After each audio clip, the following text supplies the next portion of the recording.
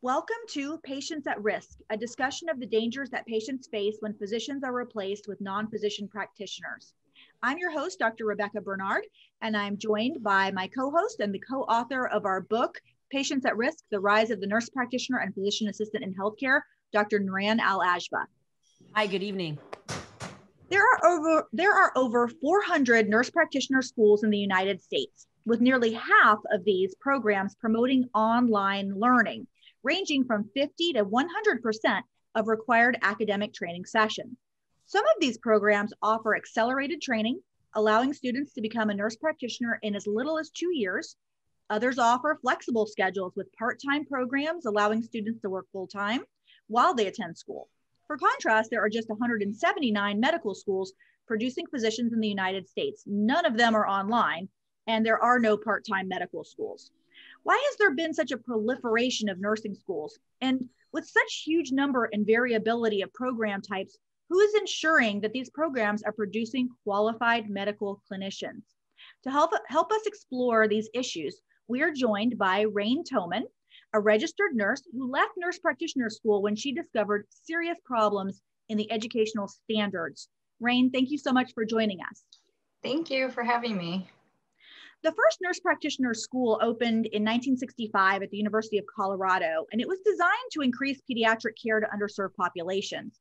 Nurse graduates of this first program were trained to perform well child exams, provide immunizations, and provide health education to patients.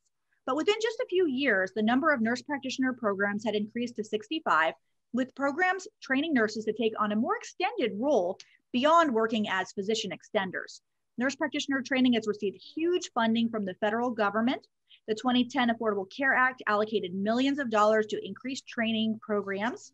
And an unintended consequence of this funding has been a massive increase in private for profit training programs that fiercely compete for student tuition dollars, boasting 100% acceptance rates to potential students, offering flexible options, accelerated tracks, and some even promote direct entry that let non nurses become a nurse practitioner without any previous nursing experience.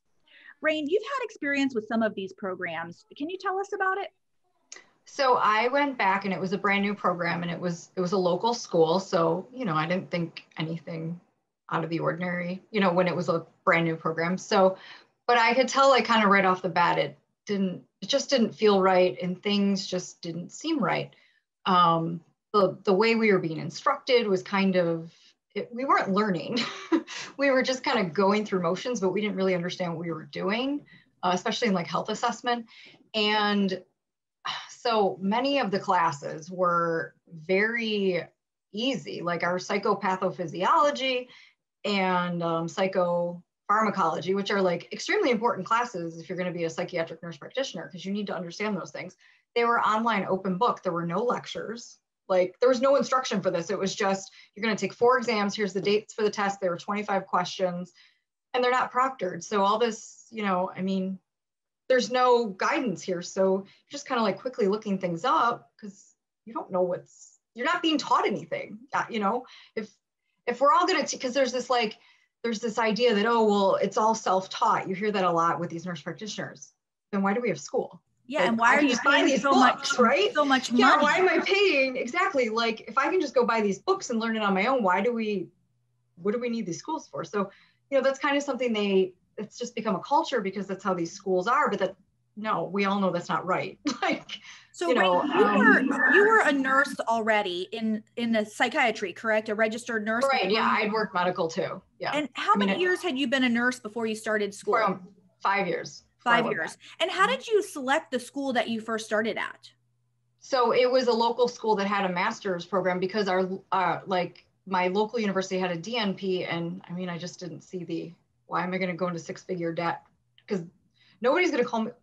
I didn't know everybody was be, like trying to push to be called doctor, but back then my thought process was like, why am I going to pay for this? I'm not. Nobody's going to call me doctor. I don't want to be called doctor.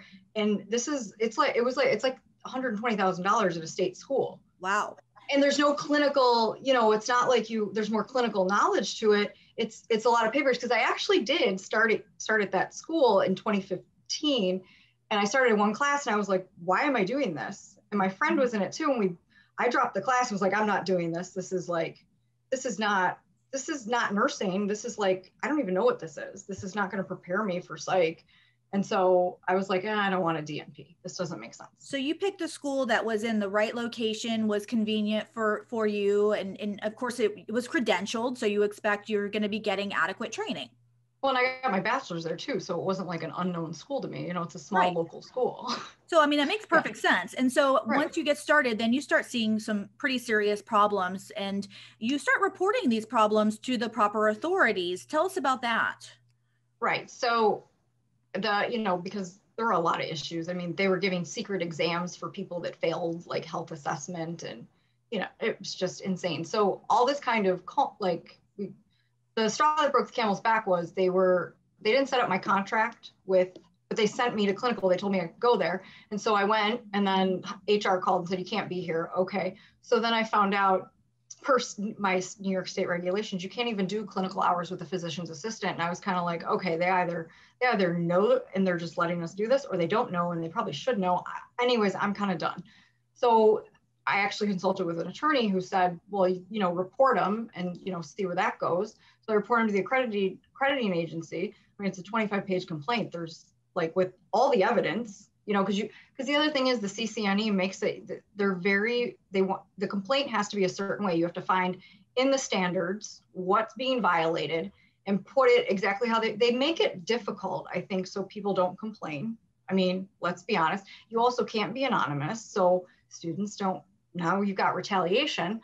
So I reported to them and I also reported to the state education department and the CCNE said there were no issues whatsoever. And as of right now, I mean, the Department of Education told me that per many phone calls, which I have not talked to them since January of last year, they've been in contact with the dean to make sure everything's okay. That that's where we're at as of December 16th of 2020. So some of the things that you reported, I have them here. Uh, first of all, you're supposed to be prepared as a psychiatric mental health nurse practitioner to, to care for patients, quote, across the lifespan. Yeah. So I'm guessing that means all ages.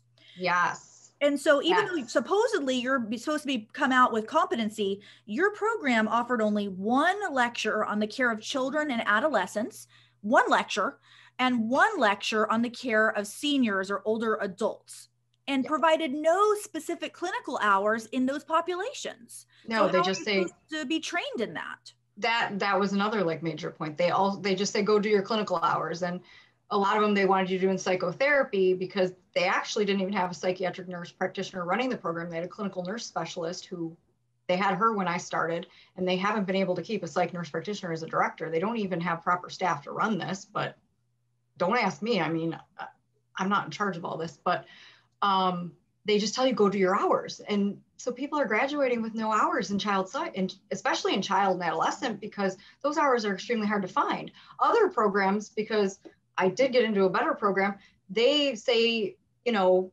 they give you, you got to do at least 100 hours. There's like set requirements.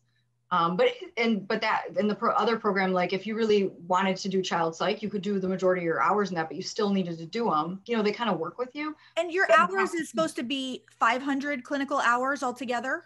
That's the minimum. Um, the the program that I was in that I reported it, I think it added up to like 540. I want to say.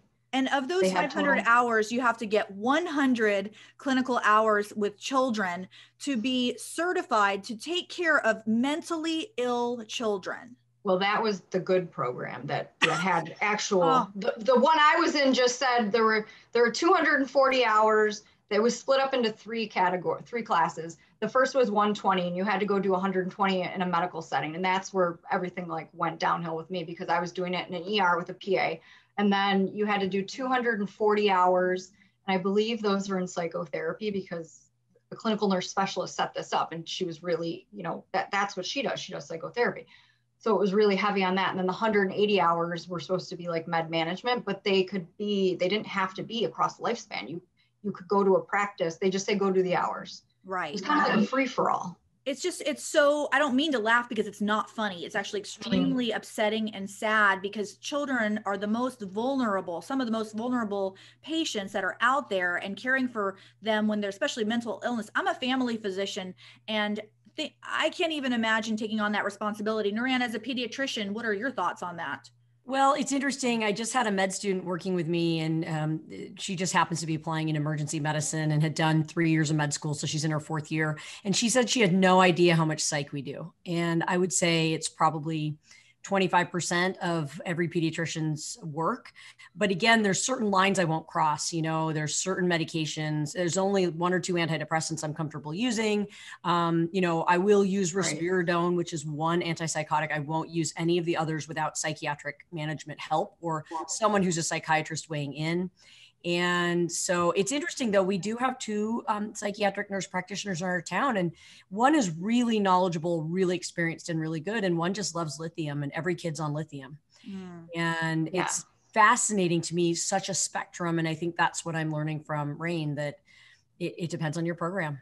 Well, Rayne right complained right. uh, about, about the hours, but she also reported to the accrediting organization that the courses that she was being taught, that all the students were taught on psychopath pathophysiology, which is the study of the causes of psychiatric disorders, and psychopharmacology, the study of medicines used to treat psychiatric disorders, were online. There was no lecture material or slides. She says there was no instruction, no discussion boards. Basically, you had to look it up yourself in a textbook yeah, there was no, you weren't being taught. Like there were no lectures, there was no guidance. It was literally the syllabus just tells you.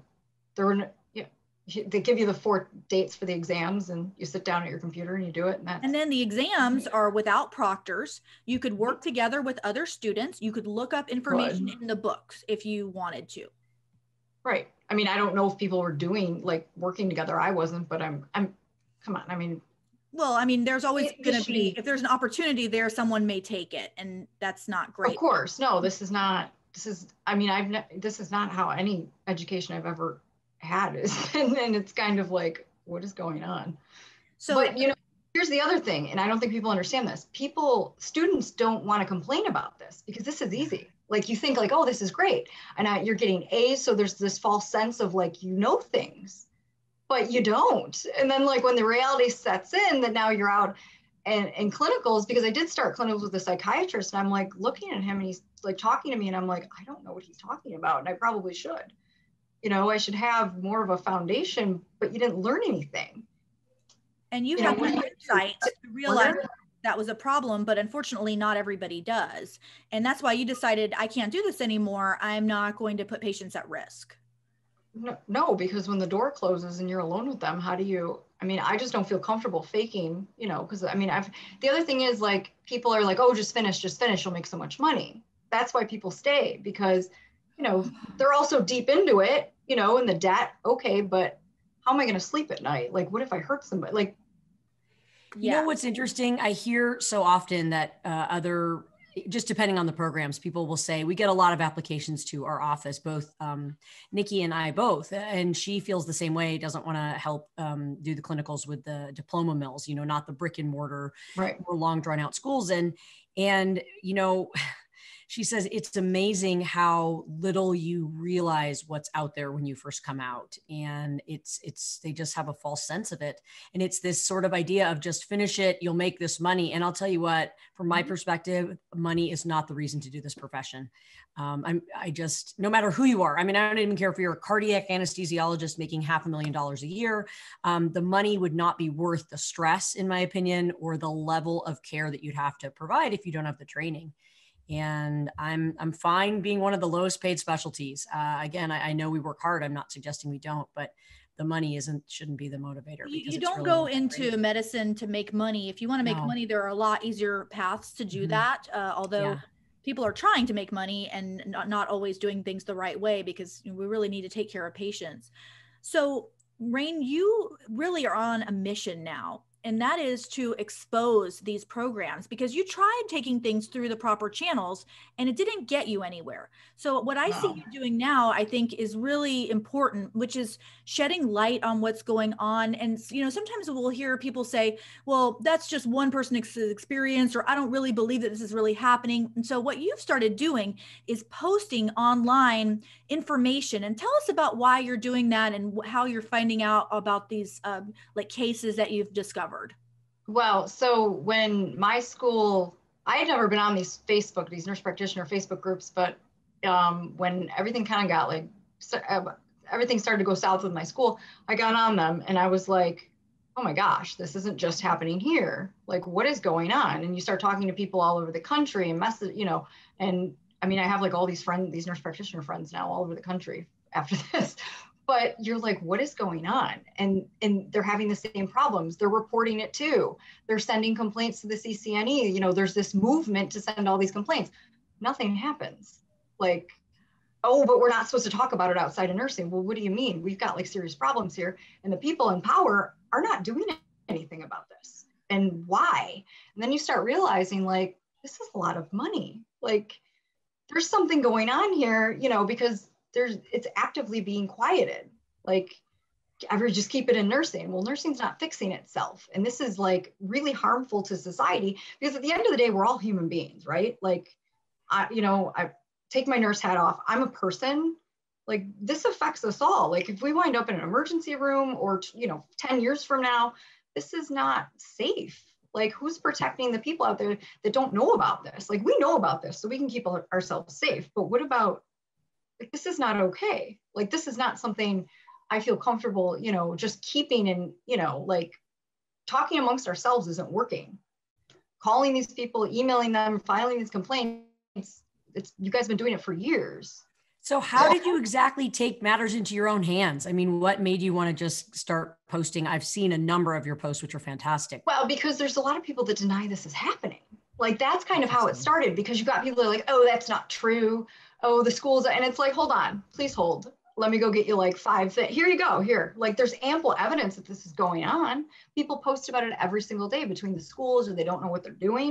You know, because there's a lot of people that want to say, and sometimes they genuinely don't know this is going on which is fine but then i think there's a lot that just want to kind of like i don't know almost brainwash everybody yeah, yeah, keep it exactly keep it silent oh that's not happening because you know if you say that over and over people just be like okay but no no there's evidence here you go like so that's kind of how it started so Rayne's been posting a lot of different screenshots, but um, she also posted some really interesting things, which is that there are some actions being taken against some of these schools. So Walden University, oh, tell us a little bit about Walden. They're kind of well known in this diploma mill world. Yeah, Walden seems to be like one of the, you know, when you think of diploma mill, everybody always wants to say Walden um, because they're online and, you know, you see the posts, people say it's easy. You can get in like pretty much the same day.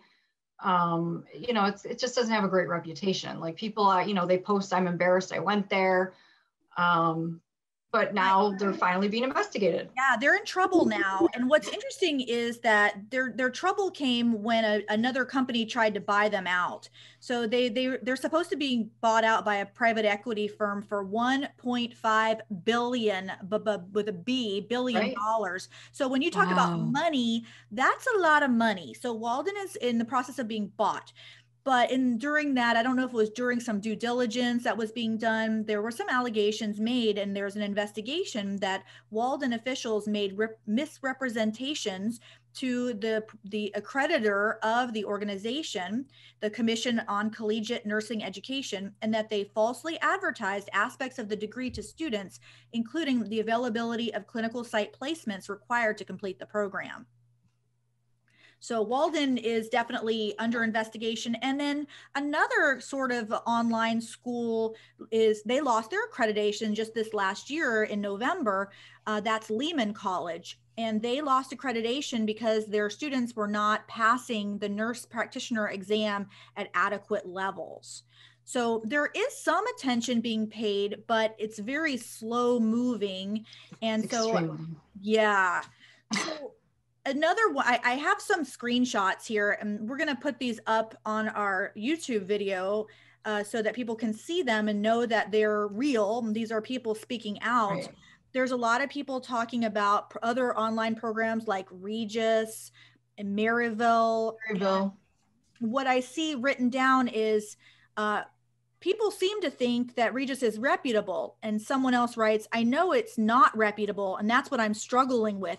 Everyone says it doesn't matter, but like it does, though, is what somebody's writing to another person.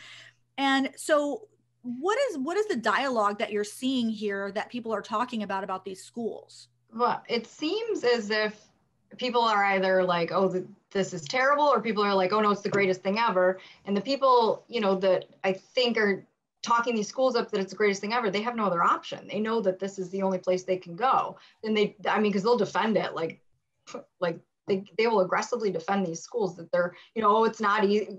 But I think to the, this caliber of student, it probably is hard you know, because there's no standards. They're letting anybody in. So they're probably letting people in that they couldn't get into another school where it actually, because they wouldn't, it wouldn't be accepted. So it, it probably is on some level challenging to that individual but that doesn't mean they're going to be safe and competent once they get out. And some of those people are looking for the easier program. So I have a, a, post here that says, I'm going back for my psych NP is there a school out there without proctored exams or camera monitored exams? I prefer open book, open notes exams. I graduated from Walden when they didn't proctor exams, and I still did extremely well on the boards. Any recommendations?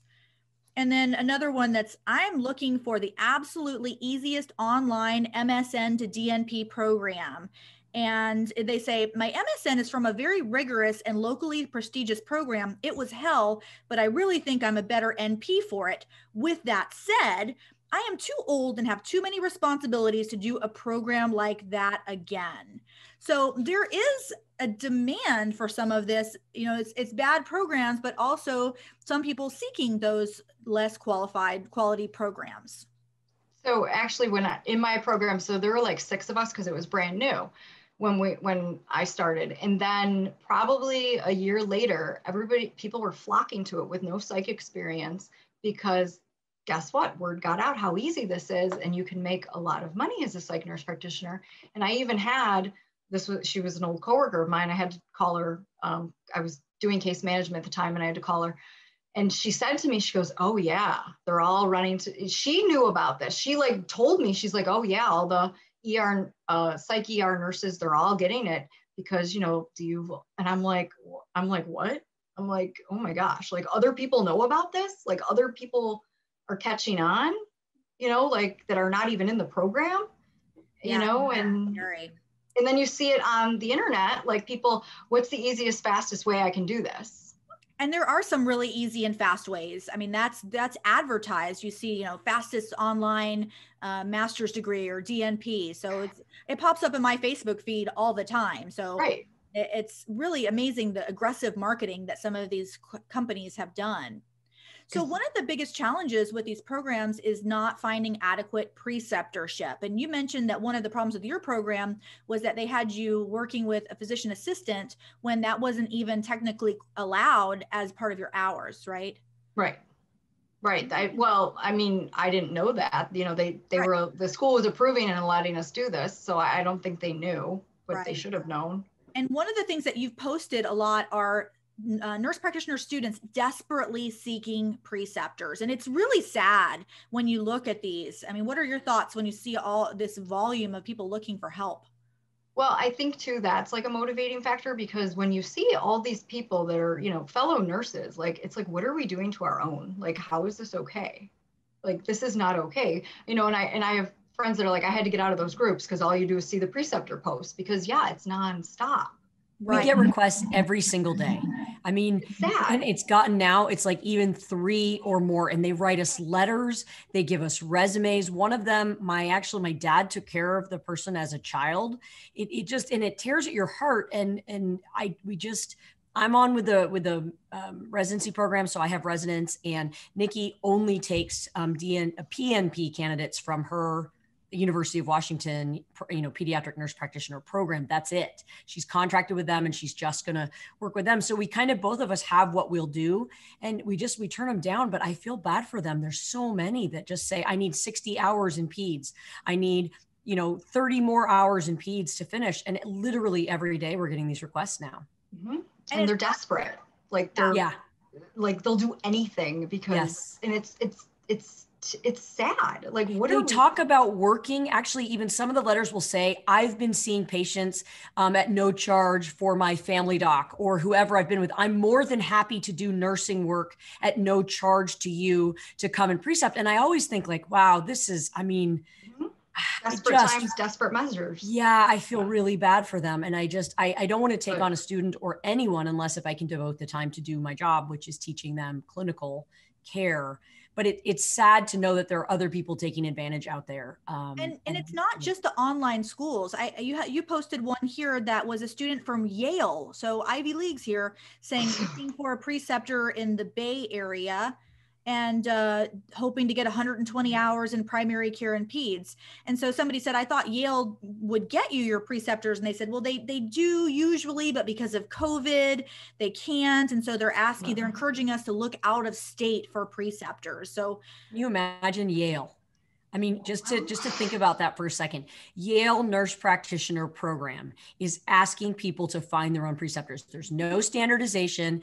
There is a preceptor in my hometown. I know I've spoken about her frequently, um, and has a PhD, so goes by a doctor, and also actually refers to herself as a pediatrician. She's anti-vaccine and she has signed so many medical exemptions and it's legal in the state of washington that's almost every medical exemption in our community comes from that individual and it's shocking to me uh, that this is allowed to go on. And Yale, right, which used to mean something. So, Rain, the other thing that you've been posting a lot is um, because the education is really lacking, what we're seeing is a lot of nurse practitioners going on Facebook and other social media sites to ask clinical questions. And that's something that you've been sharing a lot with to, I guess, try to show the public or other people the quality of education. Tell us about why you've been doing that because there's a lot of denial that this is going on you know or oh it's not as no this is bad like this is really bad. This is every single day. This isn't like every once in a while. It's not looking it's not like looking for a needle in a haystack. It's the whole haystack.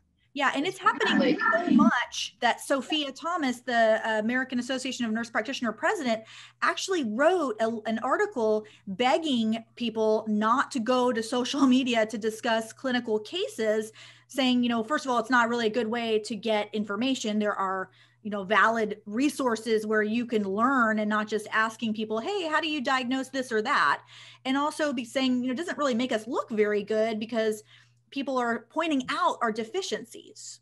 Right. I mean, and that article is that's at least a year old because I saw that when I was I was still in school and I remember seeing that and being like, wait a minute, this is, shouldn't she wonder why are they asking these questions? You know, that was you know, I mean, I had a lot of light bulb moments. That was one of them when I saw that article. I'm like, um, what, what? Because, you know, uh, I started noticing the clinical questions when I got in the groups too, because you look at some of these questions, you're like, how are you, you should be, as a registered nurse, you should know this. Some of these questions, you know, it's like, what is going on here? You feel like you're in the twilight zone.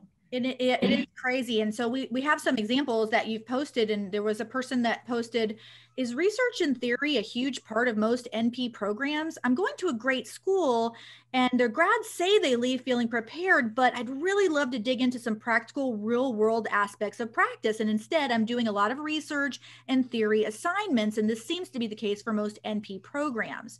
And so somebody else chimed in on the thread and said, yeah, it's definitely an issue. We had one two hour class on how to read an EKG, one. And and also one two hour class on how to read a chest x-ray. But yet we spent an entire semester writing a 38 page thesis on something i'll never use. So you, that's the kinds of posts that you're seeing a lot of people just really concerned about the deficiencies? Yes i mean yeah there's constant like we don't want theory why are we doing more theory? We should have more clinical like have more you know science medical and I um, do, I do want to contrast that with just as an example, you know, we get two minutes or two, sorry, two hours of, of class, let's say in our first two years of medical school on how to read an EKG. And what's interesting is I accumulated 40 hours reading EKGs only in my internal medicine rotation. And I would sit in the afternoons. You know, I was there for 12 weeks and I do about three hours a week, three and a half hours. And we would go through hundreds of EKGs and sign off on them. And I, I found it fascinating. I thought it would be really helpful in the future. And so that's just reading EKGs in adults, which I don't even do. I mean, I, can read EKGs, you know, okay. I would say I'm okay, entry level um, with 40 hours reading adult EKGs as a pediatrician. So just to con- contrast, I think that's what people miss. Yeah, we spent hours and hours and hours and hours learning EKGs. EKGs are very difficult, they're complicated. You can't just read the interpretation that the computer says and that's it. So if you don't know how to read an EKG, I mean, that's a really fundamental skill, but it takes a lot of time and certainly could not ever be learned in two hours. I mean, that's really egregious.